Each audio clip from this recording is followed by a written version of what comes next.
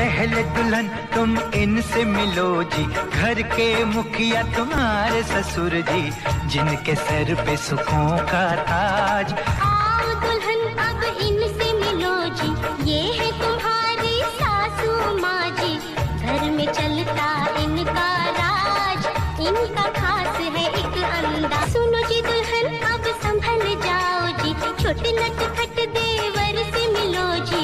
बड़ा रंगीला इनका इनका अंदाज। चलो दुल्हन अब आगे बढ़ो जी। अपने ननद ननदोई से मिलो जी। बीवी को ये न करें नाराज़। आशिकाना है अंदाज। सुनो जी दुल्हन अब गौर करो जी। अपने बड़े देवर से मिलो जी। माँ के दिल के ये सरताज। प्यारी दुल्हन अब दिल थामो जी। क्योंकि